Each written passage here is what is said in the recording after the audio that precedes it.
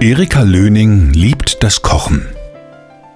Diese Rindfleischsuppe ist für einen sonntäglichen Gebrauch gedacht. Das heißt also, ich möchte eine kräftige Brühe haben. Ich habe ein paar Knochen dazu genommen. Ich habe nicht Markknochen genommen, aber Knochen, um das, äh, die Suppe schön kräftig und gehaltvoll zu machen.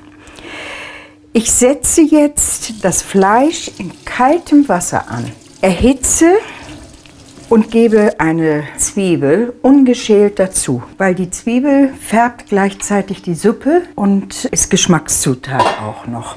In diesen Deckel gebe ich jetzt kaltes Wasser und auf diese Art und Weise möchte ich nachher, dass die Suppe nicht brausend kocht, sondern sie soll lächeln. Ich stelle um, sobald es kocht und dann soll sie zwei Stunden etwa lächeln. Nach zwei Stunden Lächeln gibt Erika Löning Möhren, Sellerie und Lauch in die Suppe. Das wird dann noch so eine Dreiviertelstunde mit dem Gemüse zusammen kochen.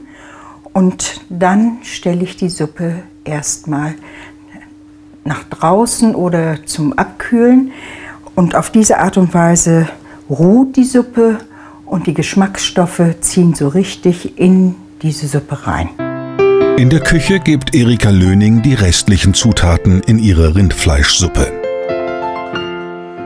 Für diese Jahreszeit ist so eine kräftige Suppe ein gutes Immunmittel für Krankheiten und so. Es ist eine heiße Suppe, man kann sich erwärmen daran und Kinder mögen gerne die Buchstabennudeln da drin.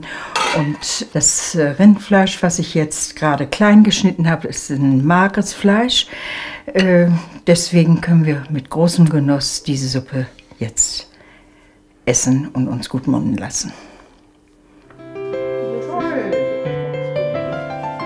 Die Suppe schmeckt nicht nur lecker, sondern ist auch gesund, gerade im Winter.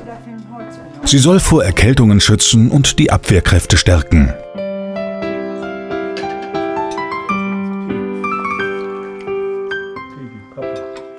So, muss mal gucken, ob du ein Haar findest, ne? Ja, hab ich. Vorsicht. Erikas Rindfleischsuppe mit Eierstich, Gemüse und Buchstabennudeln schmeckt im Familienkreis gleich doppelt so gut.